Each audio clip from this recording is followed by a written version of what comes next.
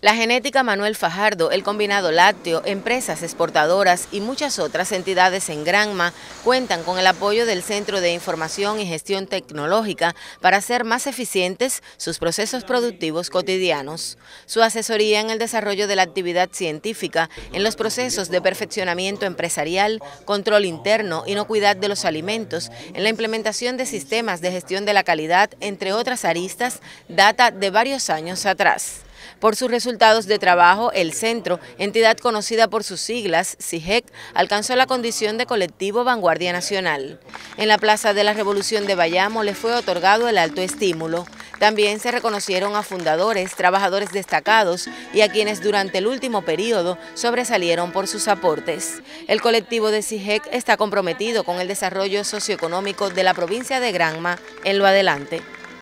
Lisette Márquez, Sistema Informativo de la Televisión Cubana.